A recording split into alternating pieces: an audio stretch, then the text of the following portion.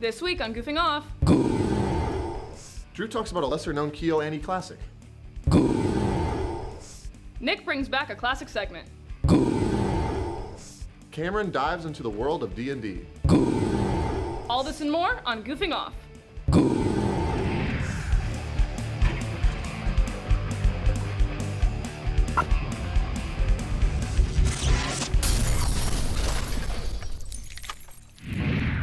Welcome back to another semester of the one, the only, Goofing Off. I am Caleb Morgan. And I'm Becca Tyler. Wait, Becca, I, I thought you went back to the Void after your hosting career finished. Um, how do you have like corporal form? Well, Caleb, it's kind of simple actually. I bought a ticket in the void to come back here, and now here I am. Oh, um, um, okay, I guess. Uh, so we're the hosts. Um, what segment should we introduce first? I don't know. Uh, how about we start things off with Mr. Colin Long taking on a new segment this semester with Face Off. Okay. Hey fellas, this is Colin, and since Kyle has made his glorious exit from this university and eventually this country, I figured I would take up his mantle and compare and contrast two games while deciding which game is superior in a segment we like to call Face Off.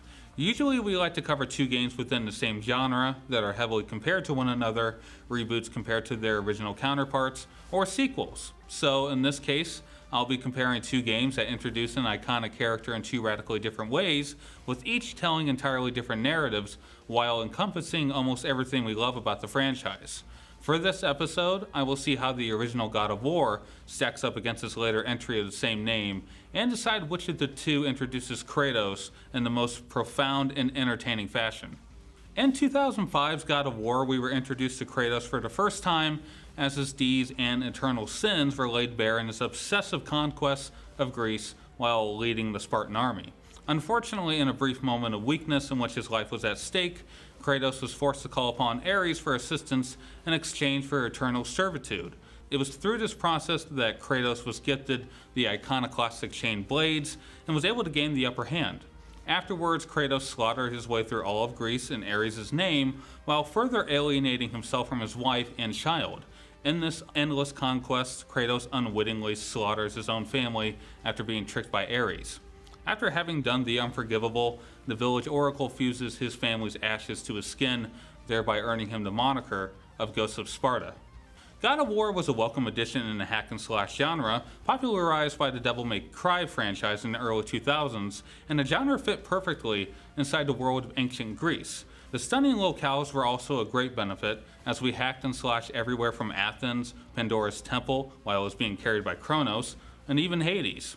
It being a hack and slash game, the combat above all else has to succeed, and Santa Monica delivered in spades. Even almost 15 years later, the combat feels fluid and ultimately timeless. The combos feel as satisfying as ever, even while sticking with the tried and true square square triangle, and what helps bring the combat to even bigger heights are the boss battles and the overall spectacle of the game's aesthetic. God of War lets you know exactly what kind of game it is from the very beginning, as Kratos is forced to kill a Hydra that threatens to sink his ship. And although it's a tired mechanic nowadays, the quick time events that capped off every boss battle always resulted in Kratos finishing them off in the most over the top and gruesome way possible.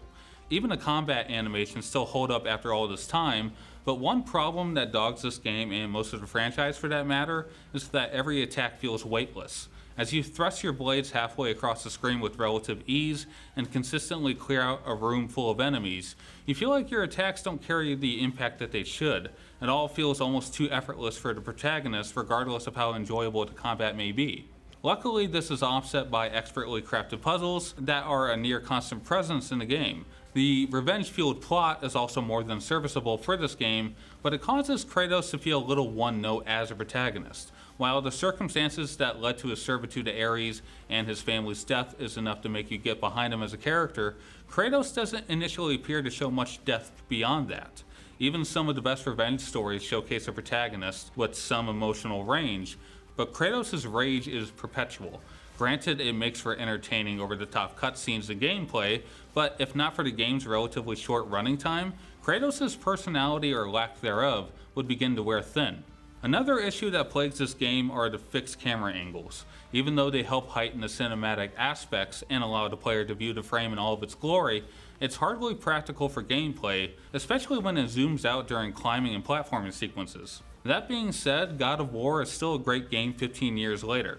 Everything from the grand vistas of ancient Greece, the combo focused combat, the fair but challenging puzzles, the revenge fueled narrative, and the bombastic score that sits beneath it all still makes this game a must play. But would the franchise manage to top itself 13 years later? Santa Monica developed and released the second God of War of the same name in April 2018. The fact it wasn't just called God of War 4 and its lack of a colon in the title was a clear announcement that this game was to serve as a second introduction to Kratos. While his temper remains, albeit in a smaller capacity, he's noticeably worse for wear this time around.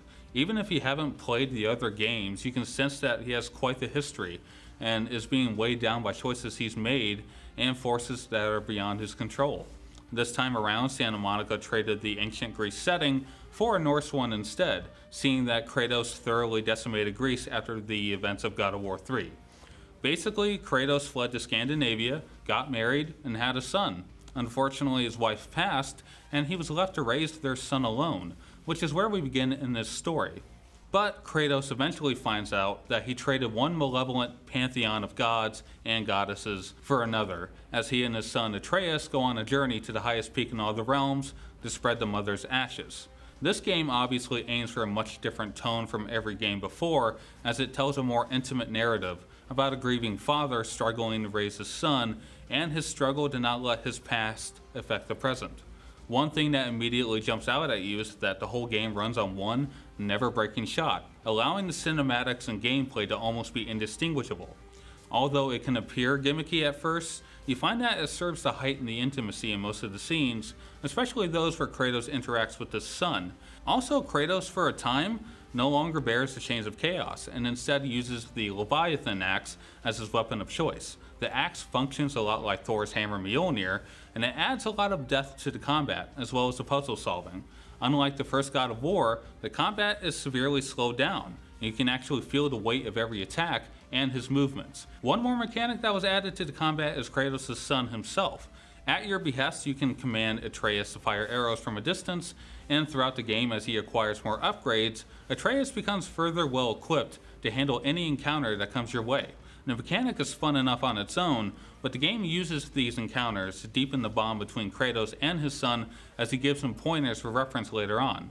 Although this God of War aims for a more intimate experience, the spectacle that we expect from this franchise is still here in all of its glory, especially in the boss fights. Like most of the combat, the boss fights aim for a more gruesome and intimate experience as opposed to the Hydra and Ares fights in the first game, but they are nonetheless visually spectacular, especially in the closing cinematics of each fight, in which the QuickTime events are thankfully excluded. Lastly, where the first God of War was a strict linear experience, this one includes a hub area where you can explore the Lakes of Nine to either do side quests or solve various puzzles to acquire upgrades. The RPG elements don't stop there as you can swap armor pieces in and out, upgrade your axe, and wear various talismans that adds even more to the depth of gameplay. So between the God of Wars of 2005 and 2018, I would have to choose 2018. Although the original God of War is one of the best ever introductions to an iconic protagonist, I think the newer God of War does a better job of telling a compelling and profound narrative. The older Kratos is more introspective, thoughtful, and displays a much wider emotional range than the Kratos in the original game, and is overall a character with far more depth and dimension. The combat is more mindful and methodical with more mechanics and depth of gameplay that goes far beyond combos and button mashing. The one-shot camera creates a visual and cinematic experience unlike any other in gaming, outshining even the God of War games of old. God of War 2018 managed to totally reinvent the franchise and become a touchstone in the gaming landscape itself and for that, I have to give 2018 the win here. Thanks for watching Face Off. Feel free to hit the like button down below, subscribe to this channel, and follow us on Twitter as ZTV Goofing Off. See ya! Wait, games on a budget? I haven't heard that name since. Since Drew did it like a million years ago. Yeah! Who's doing it now? Well, I mean, according to my notes that I have in my hand right here, I think new member Nick is taking on GoLab and he's playing a game called. A, a Short Hike. Huh. Sounds cool. Well, you heard it from him, folks. Games on a Budget is up next. Hi everybody, I'm Nick McFadden and this is Games on a Budget. In this segment I will be reviewing games that cost less than $10 in hopes of providing you money-savvy gamers with a couple of recommendations.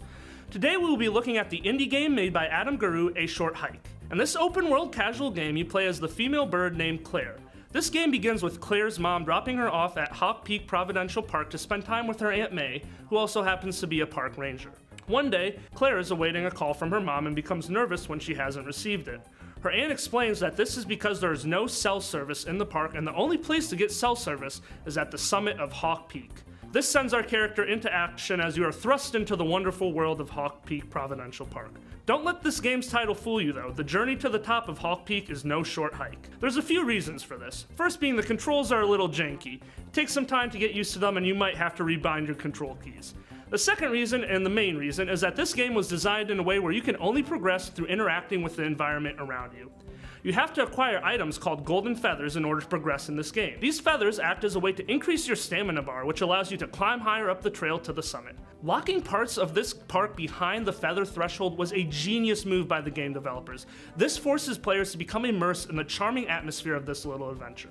You can find feathers in three main ways. The first is by reaching challenging areas through pure exploration. There are a lot of jumping puzzles in this game, and oftentimes you will be rewarded with a golden feather for figuring out these puzzles. The second way is by purchasing them. I know this sounds like the easy way out, but I will say, one of my favorite interactions in this game was from a feather dealer who you meet about three-fourths up the way of Hawk Peak Trail.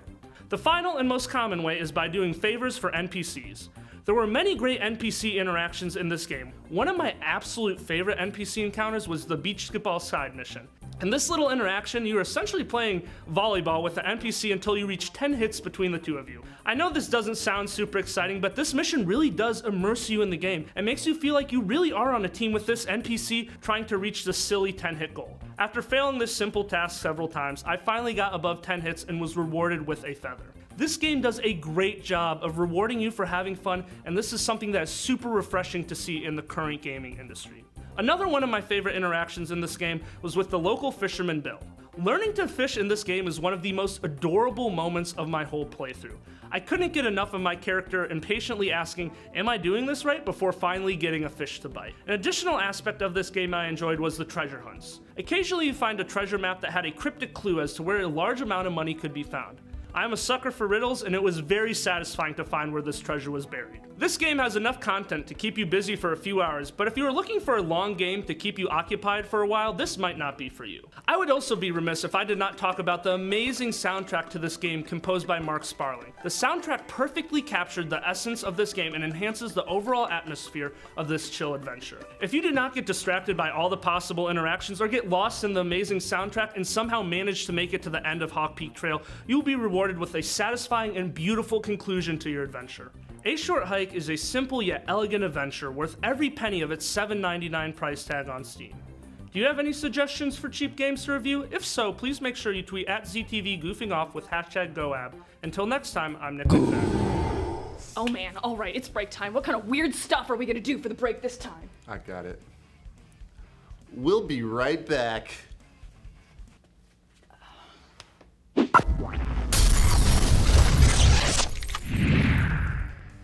If you like what you see here on Goofing Off, be sure to like us on Facebook, subscribe to our YouTube channel, and follow us on Twitter. Hey, you piece of Akron After Hours is a show on ZTV. It is a sketch comedy show that makes people laugh. Ha ha ha. It is a fun, light-hearted time, and everyone on the show loves it. Just look at the producer. He loves every second of being on Akron After Hours. Be sure to keep up to date on all of the laughs this semester.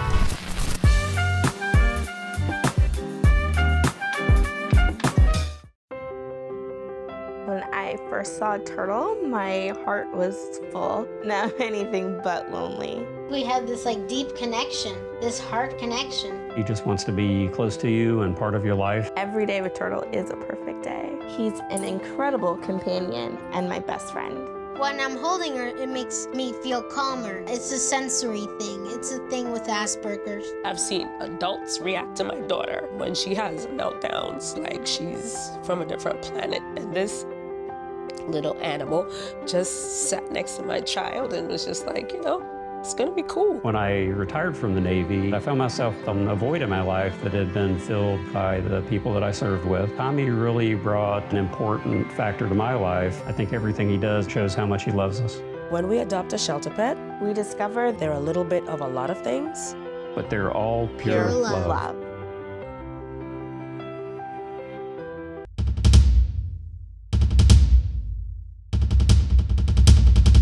You're watching ZTV.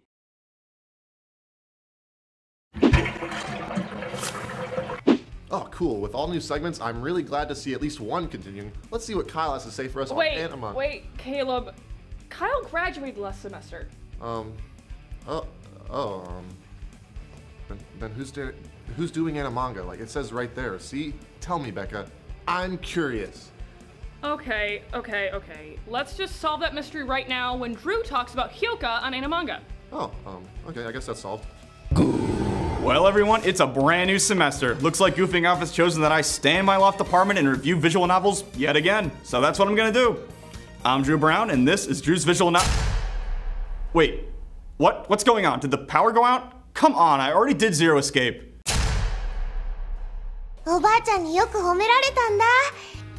Me? But, but why?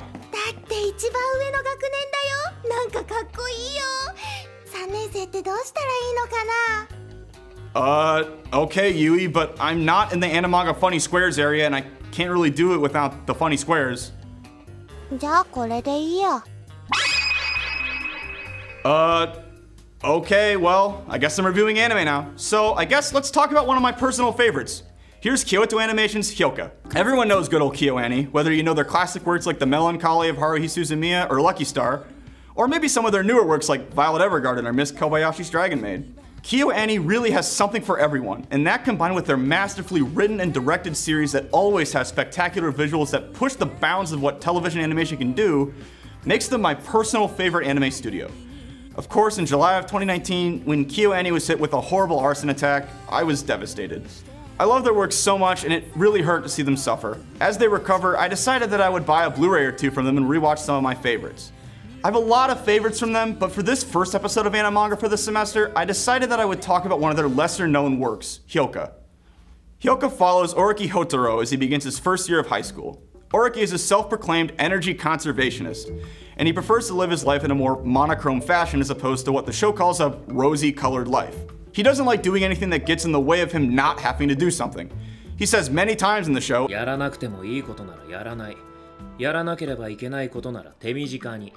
now, because of Oriki's cynical nature, you'd probably think that he's a pretty bad, unlikable character, right? Well, you're wrong, but we'll get to that in a second. Hyouka also centers around three other characters, Satoshi and Ibara, who have been Oriki's friends since middle school, there's also Chitanda, who's the main girl of the show and a newcomer to the friend group from middle school. All four of them join the Classic Literature Club, and the show takes off from there. I like Hyouka a lot because it starts looking like it's going to be a same old, same old romance slice of life, but it's so much more than that. Once you hear that first, you know that something special is about to happen. Hyouka is a show about mysteries. Chitanda's curiosity always gets the best of her, and when she finds something that she wants to figure out, Oriki can't escape her grasp until the mystery is solved. Oriki ends up solving many mysteries for Chitanda, whether they be what her late uncle told her when she was small, to little things like why a middle school teacher liked helicopters so much. Oriki at first is very unwilling to solve these mysteries because of his energy conserving lifestyle, but as the show goes on and Oriki spends more and more time with Chitanda and the others, he begins to question his own energy conserving ways. My favorite part of Hyouka is seeing Oriki develop more and more as a person. KyoAni did a wonderful job of building him up slowly with a constant pace throughout the series. And by the time you get to that final episode, you can tell just how far he's come. That isn't to say that the show overall isn't interesting as well. Each episode is packed with interesting plots and discoveries to be made. With each mystery, KyoAni took the time to even animate the scenarios in different styles to make them stand out to the viewer. They're always interesting and engaging to follow. A lot of them also reference or even based on the works of Sherlock Holmes and Agatha Christie. So if you like reading, you might get a kick out of that. A lot of times, I get a Monogatari vibe from the show. There's so much dialogue and cutaways during some of the interactions between characters, and some of the episodes don't even leave a single room. However, like in Monogatari, this isn't necessarily a bad thing. Oriki's crazy deductions and how he reaches them are what drives the show, and whether they leave a room or the whole episode is spent in the club room, it's still a very interesting watch. There's certainly a romance plot under the mystery of Hyouka as well. In the later episodes, you can tell that Chitanda and Oriki have some sort of feelings for each other. However, the romance never steps above the mystery in order of importance. I'd say it's one part romance and three parts mystery. Satoshi and Ibara get some light too, of course, especially near the end. Satoshi is the playful friend who pushes Oriki to solve these mysteries and initially gets him to begin his journey to that rosy colored high school life, and Ibara is pretty good too. Honestly, Ibara gets a lot more development around the second half, so I won't spoil anything. And of course, being a Kyoto Animation production, Hyouka is absolutely stunning to look at. It's such a simple looking anime, and that's what I love about it. How simple the characters are designed and how they interact, like Chitanda's quick movements as opposed to Oriki's slow, sloth-like movements, really hit home the themes the show is trying to convey. And every time I see those big purple Chitanda eyes, I can't help but smile. It might look plain at a surface level, and it definitely doesn't have those crazy pink-haired waifus like the other shows, but I think that its simple art style does it wonders. While I'm talking about art, I might as well mention the soundtrack. Hyouka's soundtrack is again simple. However, I think it's very effective. Many of the songs have a unique instrumentation and are just generally cool to listen to. It's almost like the songs have a sort of mystery of their own. Overall, I think Hyouka is a great story of a special someone being able to bring the best out of someone else who might not know they're great in their own unique way. I really like that Hyouka's story is organized into arcs, but can also be looked back on as a whole and appreciated for everything that the group of friends did together, culminating to the final episode, which is one of my favorite final episodes in any anime I've seen. Hyouka is one of KyoAni's dark horses. Unlike shows like K-On! or Chunibyo, which came out within the same couple of years as Hyouka, Hyouka doesn't get as much spotlight or talk generated about it. And I really don't think that this is fair because it's honestly one of the most well-directed and cleverly written from them. And while it can't top Sound Euphonium and K-On! for me, it's definitely my third favorite from Kyoto Animation. And if you haven't figured it out yet, I really like Kyoto Animation. Hyouka originated as a novel written by Honobu Yonezawa. It was adapted by Kyoto Animation in 2012. The anime was written by Shoji Gato and directed by Yasuhiro Takemoto, who unfortunately passed away in the Kyoto Animation arson attack last year. So I'd like to thank Mr. Takemoto for directing one of the best animes from KyoAni and one of my favorite animes period. On a happier note, Hyouka is one of the most finely crafted anime I've seen. Every second of it is packed with love and care. It was like my fifth anime, and after my recent rewatch, I can safely say that it still made me smile and brought me a lot of happiness. So I hope that you give it a shot and it brings you happiness as well, and hey, maybe you'll learn something about yourself too. Or maybe you'll just learn that you like solving mysteries with a cute purple-eyed girl. If Hyouka does either, I've done my job. Well, fellas, that was my first episode of Animanga. Hope it can live up to the legacy of everyone who's done it before me. I haven't inherited a segment like this in a while, so Hope it was to your liking. If you are curious as to what I'll review next, tweet me at ZTVGoofingOff with that hashtag Animanga. Until next time, I'm Drew Brown, and I hope to solve more anime mysteries with you next time.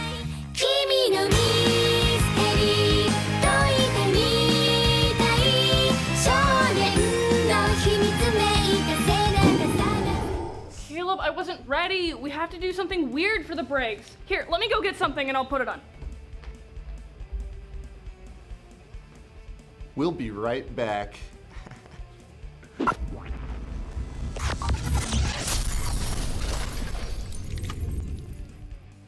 If you like what you see here on Goofing Off, be sure to like us on Facebook, subscribe to our YouTube channel, and follow us on Twitter.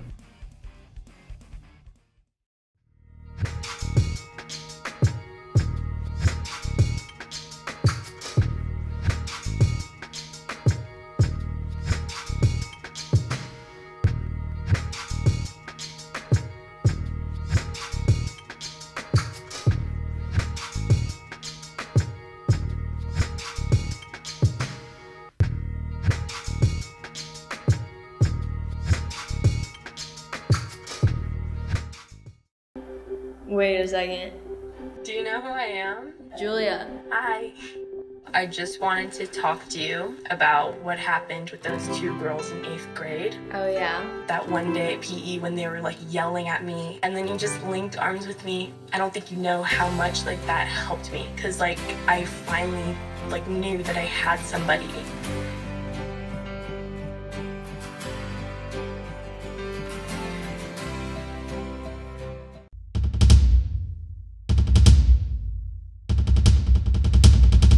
You're watching ZTV.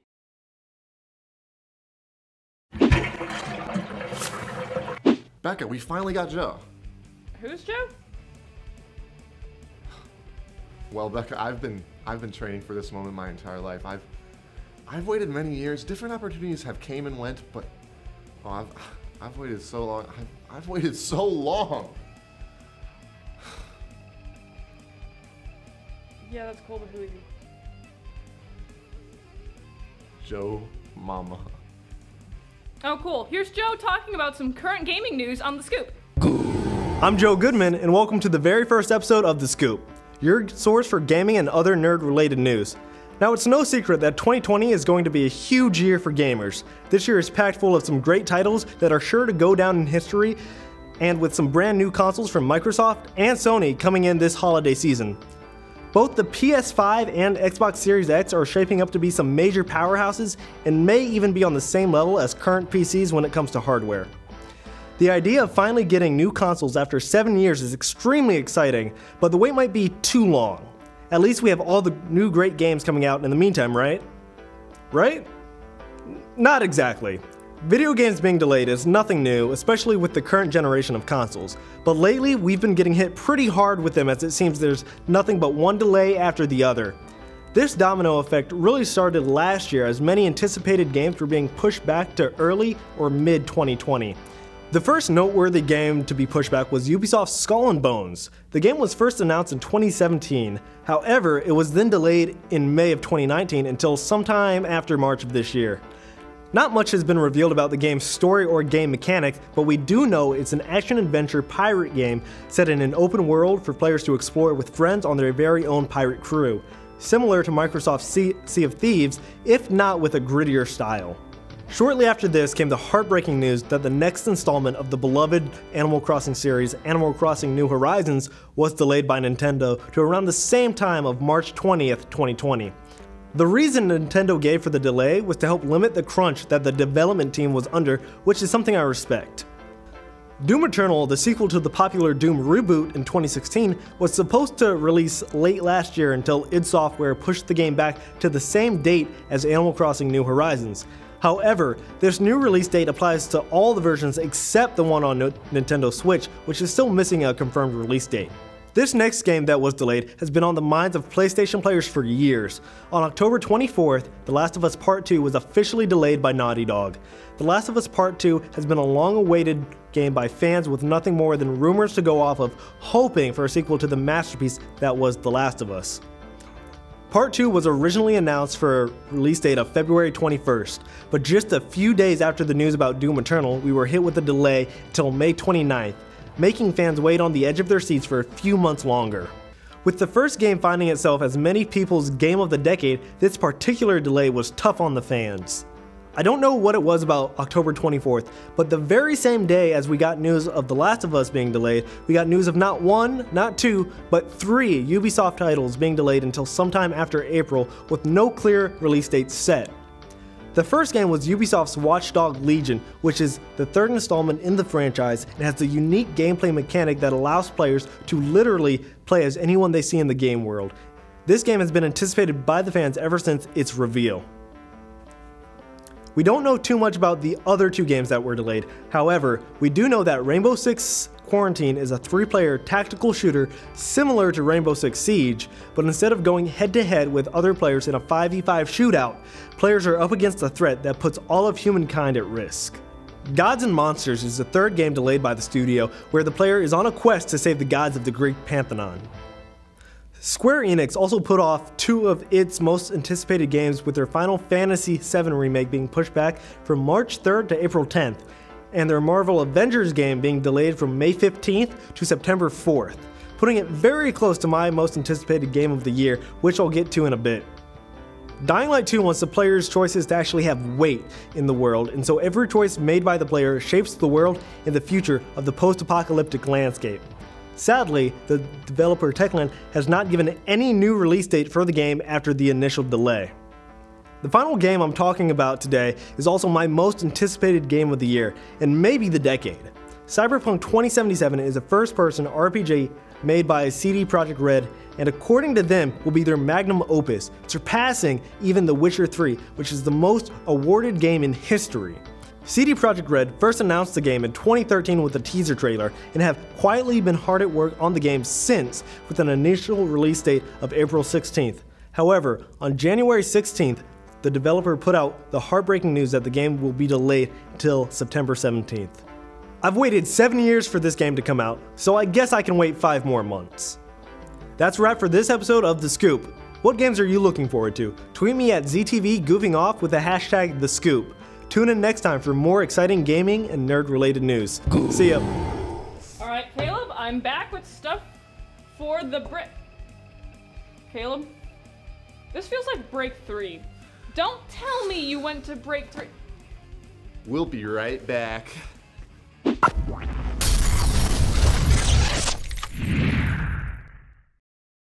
If you like what you see here on Goofing Off, be sure to like us on Facebook, subscribe to our YouTube channel, and follow us on Twitter. I'll never forget the day our landlord called and said, Read your lease. No pets allowed. My owner tells him my dog ate the lease, but that didn't work. And now I'm stuck in a shelter. But this pit bull is ready for a new crib. I'm loving, loyal, and play well with others. So don't be intimidated by all my muscles, because the biggest one I have is my heart. That's right, I said it.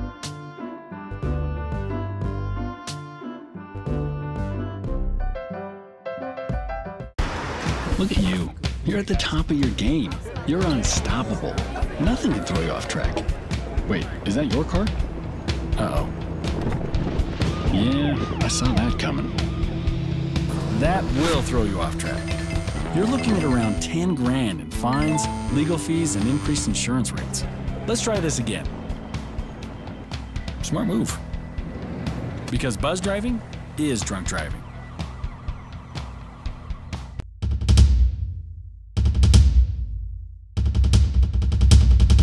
You're watching ZTV.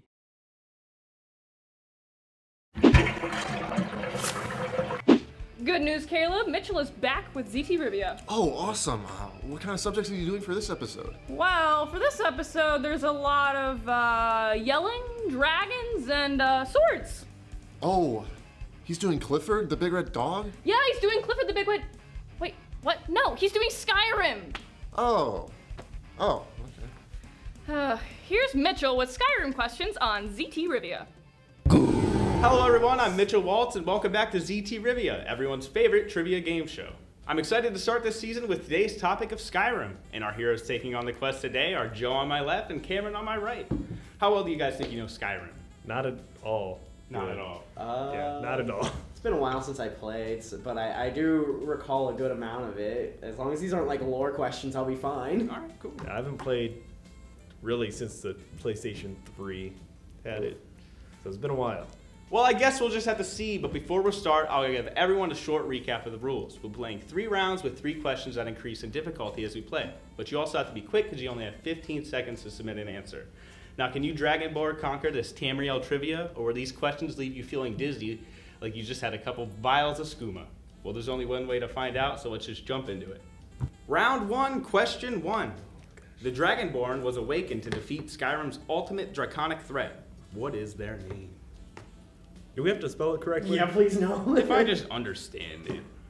Or whoever gets the closest if you guys both got it Ah, right. there you go. That's cool. Okay. Alright guys, let's reveal our answers. We got Alduin and Alduin. Yes, you guys are both correct. Do you spell it the same way? Yeah, we spelled it the Well, same way. I got a count. You guys Ah, are you both put it- correct in your spelling too. Yeah, Very there's no impressive. apostrophes or anything like that in his name. So Yeah, just a normal dragon name. For once. I almost put uh, Macho Man Randy Savage. Yeah. oh, yeah. Thomas the Tank Engine. Depending on what mods you have. Oh man. Question two. Mages seeking knowledge can travel to the College of Winterhold, but what fields of magic can they study? I want them all, guys. Oh, okay. I want them all. Just all of them in the game, or All the, yeah. okay. Can I just say that these new boards are so nice? They really are. They're not falling apart in my hand. I'm pretty proud of them. Nice and blue, they match. That's how I like. I got a clipboard to be official for you guys. Okay, I think I have all of them. How many schools are there? Can we at least know how many schools there are? Any hints? Nah. Okay. Ah, okay. Well, You got, are you guys confident in your answers? no. All right. Um, That'll be enough for me, I guess. here, um, put a star next to my favorite. Okay, sure. Let's reveal the answers. Yeah. Cameron has. Oh wait, no, I'm thinking. I was thinking D&D.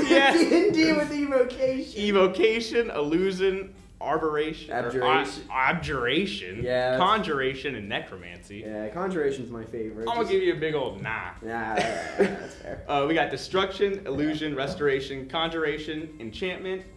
Close, but nah. What the total? There are five. You guys both got five Okay, so there were five. The answers are destruction, Yeah. Uh-huh. alteration, Alteration. uh, illusion, conjuration, and restoration. But enchantment is like. I'm a- gonna tell you, I don't know any alteration spells from. I, I do telekinesis. I think. Uh, Isn't oh, doesn't alteration also fall under like necromancy? Like isn't that or is that part of restoration? That's Yeah, I'm transmutation. I'm telling you, the so- schools and the college. That's the question. No, no, I get that. it's too complex. I can Oh, see enchantment though, because that is like a magical thing that you do. Yeah, I thought it was like a skill tree. I was just like It is a skill tree. Yeah, so that's what I thought. But. I don't think you can learn it in the college. Dang. Maybe somebody can help you out, like train you. But Yeah, I know one of the librarians can teach you. yeah. Question three: In Skyrim, the players can craft their own weapons and armor, but what is the best material they can use? Oh, does this include uh, the DLC? Mm, just say nah. Okay. Just give you like a basic one. Okay.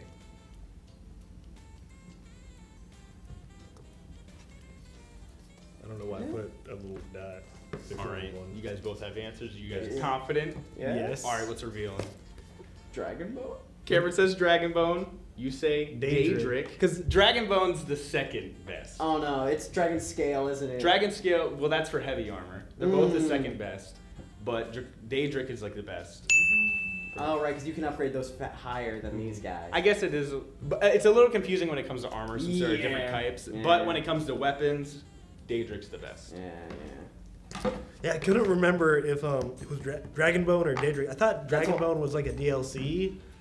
I always don't- held on to my Dragon Bones, but I don't really think I know, I I just sold crafted them. Dragon Bone armor. I just never put the work in. I just I got lucky. I found uh, a, as a level one character, I found a Daedric bow in a chest. Oh, It's like, really? this is mine now forever. I'm an archer now. Let's Yeah. go. Yeah, I just gave gave all my Dragon Bones and skills to Lydia. Let her carry oh, on. I'm sworn to carry your burdens. yeah. Round two, question one. Throughout the game, Skyrim is at war between the Imperial Legion and the Stormcloaks. But what are the names of their leaders? Oh my gosh, I know one. Oh, I only know one. I figured you'd get one. I really had no interest in the war in Skyrim. I didn't either until I became a vampire and I needed some people to drink. So I don't know. The, la- the last battle, it was kind of fun, Yeah, especially the if you one put in all your magic Whiterun into or whatever? destruction. Oh, and just Kamehameha. your Yeah. through the battle. Yeah. Well, that's why I did vampire because I was like, you know what? just, just drank my way through the battlefield. The soldiers didn't care. They were just like, yeah, vampire on our side. Cool. Yeah. Who do you guys join? Uh, I, I joined did the Imperials. I did Imperial. Stormcloaks. Stormcloaks. They're Stormcloaks are a little racist. Yeah, a little bit. A bit. little against elves. I mean, so I joined them too, though, because they're blue, and I like the color. I like the Stormcloaks because it's their home, and the Imperials are just like, we're taking this over now. That's true. They got like the underdog. And I was like, that's not right. Sure. they're like the Northmen to like the Lannister. yeah, I don't watch Game of Thrones. Oh come I don't watch Game of Thrones. No. Skyrim was supposed to be a Game of Thrones game. Till I, I can see it. All right. Are we confident in our answers? Yeah. I only have see, one. I see Yeah. one name. Let's reveal him. Ulfric Stormcloak. Ulfric Stormcloak, correct. Yeah, yeah. Ulfric Stormcloak, correct. Prince Vis- Vesuvius? Vesuvius, like the mountain. no, not at all. General Tullius, the Tullius, Imperial uh, leader. I thought he was just a general. I didn't know he was like. he the leader. yeah. Because wasn't there a quest where you had to kill like a prince or something? I don't know. I'm pretty There sure. There was he had- a yeah, there was one that you could kill a prince um, during a royal wedding because it was during the um, Assassin's Guild. Yeah. So that. I didn't think it was general. Yeah, the general, but uh, it wasn't him that you had to kill, someone else, It's all right, guys. and then a king. It's all right. Question two. What platforms have Skyrim been released on? All of them. Yes, all of them. I want them all. I, I was just saying that's my answer. All of them. Yeah. All of- like, oh, yeah. PlayStation One. PlayStation 1. yes. Can we write uh, Xbox Series X and PS5? Because I guarantee it's gonna be on there too. Probably, if I had to guess. Yeah, this, this is gonna be dated in a couple months. Um, I bought Skyrim four times for four different platforms. Same here. Uh, we'll discuss on how, yeah, on what platforms after this. Okay, I, I think I have them all. All right, Let- let's reveal the answers to everybody. Cameron says Xbox 360, Switch, Alexa, PC, Forgot Alexa. Xbox One, VR, PS3, PS4, Google, Wii, Wii U. All right. What is Google? I'm pretty sure it's the same thing as the Alexa. I wasn't sure which platform it was on. We'll get into it. All right. PS, PS3, PS4, Xbox 360, Xbox One, PC, Switch, Wii. It looks like a Wii too. Yeah. And Oculus. All right. So neither of you are completely correct. I have one, two, three, four, five, six, seven different official platforms. I have eight. See, for VR, that came out on like PC, so it's not like an okay. official VR. I wasn't sure if you were counting that as a separate thing. Yeah, that's that's what I that's why I put Oculus because I thought Yeah, it would be yeah. separate. So we'll get rid of the VR. And you, you only put Xbox 360, no Xbox One. Oh, you did put. Yeah, I did oh, put I'm sorry. What are I you talking about? It, it just wasn't next to it. Yeah, All right. I just was. I'll give the official answer. Okay, let's see. Xbox 360, Uh-huh. Xbox One, Uh-huh. PS3, Uh-huh. PS4, Uh-huh. Nintendo Switch, Mhm. PC, Mhm. and Alexa. I'm surprised you got Did not come on Wii? I thought No, we did. Really? Wow. So I technically got it right. You did get it more right. You did include Alexa. Okay, but who? You put we as well. As so, I'm gonna I'm just gonna knock this off. I I will give the point to Cameron. All right, all right, all right. Let's see how we're playing. Question three: Where is the secret hideout for the Thieves Guild located? Mm. Be as specific as you'd like, because that might come into play. Okay. I didn't really do ever do much with the Thieves Guild. I know I finished it at least once and got like their cool armor, the skeleton key. That I'm pretty sure at the skeleton Yeah, you keys. I'm like, I'm not turning this back in. It's This so is mine good. now. Sorry guys, this is mine. I have Oh become my the god, villain. what's the city Cold. I'm Oh, baffled, Joe. no, no, I, I I remember now. I remember. I'm, I'm pretty sure that's the name. I almost got it very wrong. Almost put white Whiterun. No. Solitude. the best place. All right, let's reveal the answers, guys. You both say Riften. Okay. You say into tombs, into sewers. I'm gonna give it to both of you. Yeah. Because I'm not really sure what they are. They're sewers. It's down there. You can hit a it's tomb called and that lets you in. the real answer, like the Ratway, Oh. is what it's called Ah. underneath Riften. But I'll give it to both of you because they're kind of sewers, and I'm sure there's dead bodies down there. It doesn't make tombs, but okay. No, Make there's a, tombs. the reason I said tombs was But there's an because- entrance. Yeah, there's Yeah. an entrance through the tombs, so I was Yeah, like, there you that's probably it. But they're not surrounded by tombs. They're surrounded by sewers. But it's, it's, okay. It's okay. There's only giant skeevers, but it's okay. Look, just ignore the skeevers. Joe, You're a giant skeever. you are what you eat. So Look, I don't need the skeevers. Some charred skeever. hey, don't My have to you favorite try it. meal. Your destruction magic? No, it's cooked. yeah, nice and crispy. Can't even taste the disease. Round three, question one. What Easter egg is found at the at Skyrim's highest peak, the throat of the world? There's an Easter egg up there. I'll be very happy if you guys get that. I have no clue. Uh, oh, oh, oh, I know this one actually. Of course. Um, It took me a second. Like my mind had to go like to late 2009, Yeah. or not 2009 because it came out 11, 11, 11. Like 2011, Cameron. All right, you, you gotta draw the picture Yep. of the c- incorrect Yeah, answer. I'm not gonna draw that. It looks He's trying bad. for bonus points. All right, let's reveal the answers. Joe says a pit boy, which would be pretty cool. Would be I would sweet. like to see that there.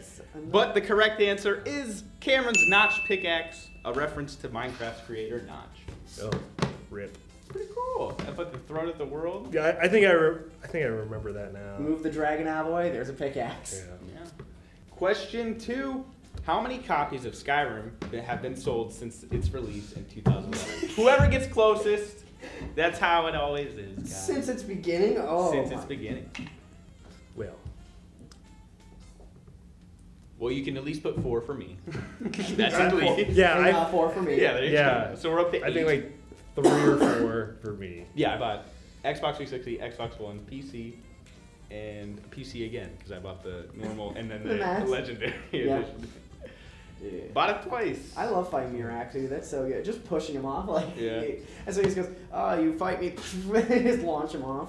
All right, I You guys both have answers? Yes. All right, let's reveal them. Cameron says Oh. 200 million. I said 80 million. Joe says 80 million. Game of the decade. The correct answer. I wish it was 200 million, but it's actually only 30 million copies. wow. That's a lot. Which is surprising over so many platforms. I thought it'd be a lot. Yeah, that's kind of not good.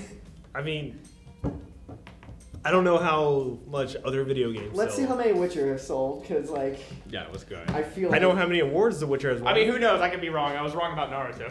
Yeah, yeah, you were very wrong. That's very. I was off by like a year. Yeah. All right, guys, we're here. Question three, the final question of this ZTRivia episode. What are all the playable races in Skyrim? Oh. Okay. Okay. And also your favorite. well, I mean, the one you like to play most. Not, there's no favorites. No, there's a favorite. Also, their birthplace. Oh, No, no. no, no, no. Get out. I mean, Uh, man, I'm getting really Oh, mixed I'm- up on the official ones and the modded ones that I put in. Because I almost wrote skeleton. uh, it's, I'm having a blank. I'm having a blank, just like in Gorgio. Georgia. Enlarge, reduce. Yes. The same D&D. All right, let's reveal the answers. We got Cameron. Nord. I couldn't think of it. we, we got Nord, Argonian, I Khajiit, for- I forgot High the Elf, Imperial, Elf, and Elf. Skyrimers. Joe says Imperial, Dark Elf, Wood Elf, Breton, Red Guard, High Elf, Khajiit, and Skyrimers. You forgot the Argonians. I did. All right, I forgot about the lizard let's give the complete list. We have Nord, Uh-huh. Breton, Red Guard, Imperial, Orc, Khajiit, Argonian, Wood Oh, yeah, I forgot High about Elf, orcs. and Dark Elf. There's 10 total, guys. I, Wood Elf, High Elf, and Dark Elf are the three elves. Yeah, I couldn't remember. Yeah, that. I knew I there got were three those. elves. I just Is listened. it yours favorite, the Dark Elf? No, I like the high elf because Oh, the of their high elves. magic regeneration. Oh yeah. Well, all right, everybody. That's all the trivia I have for you today. I guess I got to congratulate both of you for tying this. The only guy who's got two points. So Yeah, well, it's all right. You just have to rematch sometime. yeah. I look forward to it. But how did you guys do against Skyrim trivia? Let me know how many you got right, and if you have any more suggestions for future topics or questions, find me on Twitter at ZTV Goofing Off, and be sure to use the hashtag ZTRivia. Until next time, everybody, see you later. And who stole my sweet roll? Was it you? Caleb, please. I have the funny thing. We have to do the funny. Okay, um, go ahead. Okay, okay, okay.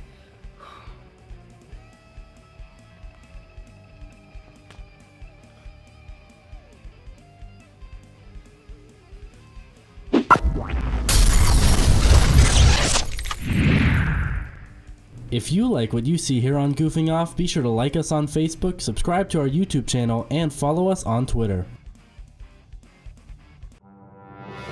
Hello, everyone, and welcome back to a new episode of Lights Camera Akron. Happy Halloween, everyone, and welcome back to a new episode of Lights Camera Akron. Happy Thanksgiving, everyone, and welcome back to a new episode of Lights Camera Akron. Hey guys, it's Kedley Stanley here, reporting for Lights Camera Akron. Hello, everyone. My name is Caleb Morgan, and I'm with Lights Camera Akron. Hey, LCA fans, this is Michael Macon with Lights Camera Akron. Reporting from Quaker Square, I'm Aquan James with ZTV's Lights Camera Akron. Thanks for watching Lights Camera Akron. Hello and welcome to another episode of 300 Seconds of Science. Welcome, welcome, welcome. Hey there, scienteers. And welcome to 30 Seconds of Science. Hey, science lovers. Welcome back to another 300 Seconds of Science. Hi, science lovers. What is up, fellow wanderers? Watch 300 Seconds of Science on 45 1 and follow their social media accounts at ZTV 300 Seconds of Science. Now go out, enjoy life, and stay curious.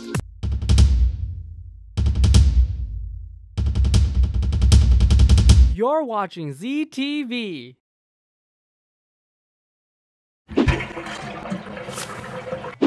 Well, Becca, good news for you, Chief. Cameron's talking about D&D this semester on his new segment, Dungeon Delver. Wait, this isn't esports? Um, yeah, D&D time, Becca. What? Um, yeah, well, here's Cameron talking about character creation up next. Hello, everyone. My name's Cameron Blunt, and welcome to the first episode of Dungeon Delvers, where I talk about all things Dungeons and Dragons. This includes adventure modules, new source books, unearthed arcana, and so much more. But before we go into all of that, I think we need to start somewhere a little simpler. Simpler being put mildly, of course. So today, I'll be breaking down the process of character creation. First things first, you'll need to talk to your dungeon master on what rules they'll be using for character creation. These rules include how you level up, if you roll for your health or just go with the average, and how they'll be getting your ability scores. For leveling up, the DM can choose to go with experience points or milestones. Experience points makes it more or less a grind fest, while milestones allows the DM to choose the pace. When it comes to HP, fixed allows you an average number with no outrageous numbers in the positive or the negative. But with rolled HP, you may have a very high health pool at any point, or in some scenarios, you roll a bunch of ones and are easy to beat up. And when it comes to your ability scores, some DMs like to allow you to roll for your scores, or use a standard point array, or even use a point buy system. For brevity's sake, moving forward, we will go with experience points for leveling up, fixed HP, and the standard array for ability scores. This way, I don't have to keep re explaining what these numbers all mean in the future. After that discussion, you get to choose your race. There are dozens to choose from. These can be a human, goblin, elf, dwarf, or an orc for those classic and iconic fantasy races, or you can go a little out there with a turtle, furball, changeling, or a bugbear. All of these races have natural born abilities, giving them unique and fun ways to play. For example, the turtle race have natural armor in the form of their shell, as well as getting claws to use in combat, and are able to hold their breath up to one hour. The downside is that these guys can't wear armor due to their shell. Now, for most races, they have what are called sub-races. One of the most notable are the elves and the tieflings. They come in all sorts of different forms and each have different powers and abilities. So be creative and have fun. After picking your race, you then get to choose your class. As of recording, there are 14 classes available. These classes all have special ways of working in the world and have subclasses to help specialize even further. These classes are Artificer, Barbarian, Bard, Bloodhunter, Cleric, Druid, Fighter, Monk, Paladin, Ranger, Rogue, Sorcerer, Warlock, and Wizard. Each class has specialties too that makes them even more useful in certain scenarios. This means that the wizard will be the one figuring out the riddles of the Sphinx, while the fighter guards them from the endless horde of the undead coming their way. But after you choose your class, you pick your proficiencies and any subclass that comes with it. Then we get to your ability scores. There are six scores that determine what characteristics your character has strength, dexterity, constitution, intelligence, wisdom, and charisma. What do these all mean? Well, strength is how strong you are, dexterity is your reflexes, constitution is how healthy you are and are able to resist diseases. These are your physical stats. Then we get to your mental stats, starting with intelligence, which is how smart you are and how well you can remember things. Wisdom is street smarts as well as knowing how nature works. And finally, charisma. It is how well you can speak and how commanding of a personality you have.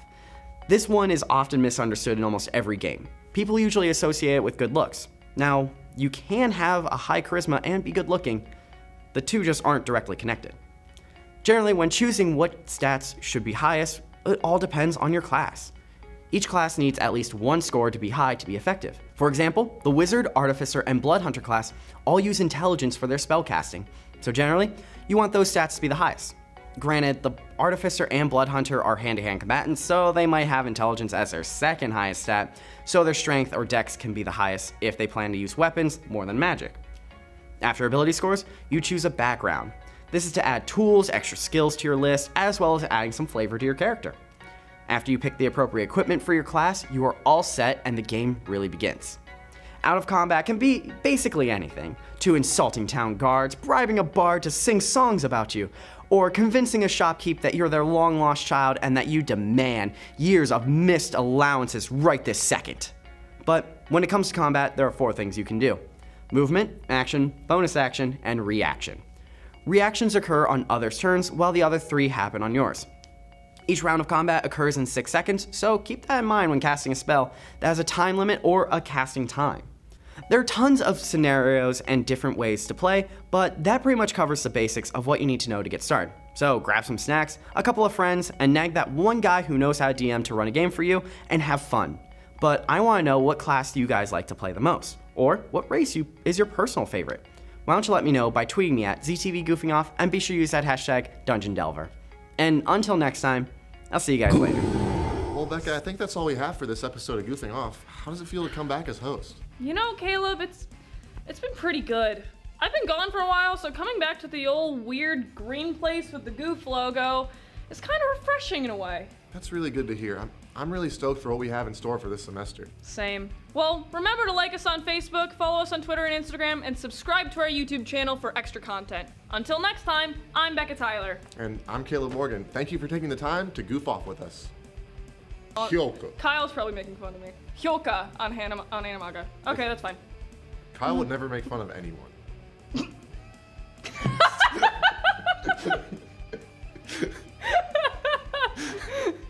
Hey, buddy. Hi. so my process was I started laughing, then I was like, maybe that could be crying. Caleb. Babu Frick. Caleb!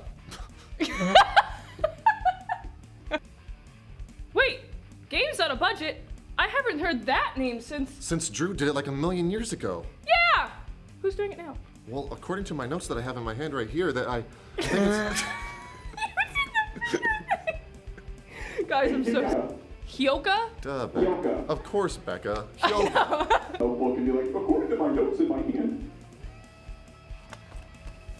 According to my notes. Yeah, I did that.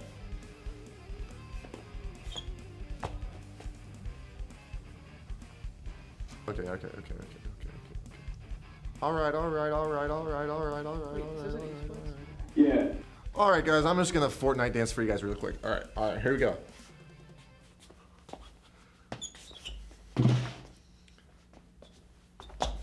All right, thank you for watching. Subscribe. This program was produced by ZTV at the University of Akron. Do you want to gain experience in video production, professional social media, or working with real clients? Visit the UA School of Communications online or follow us on social media to learn more. ZTV, make media, make a difference.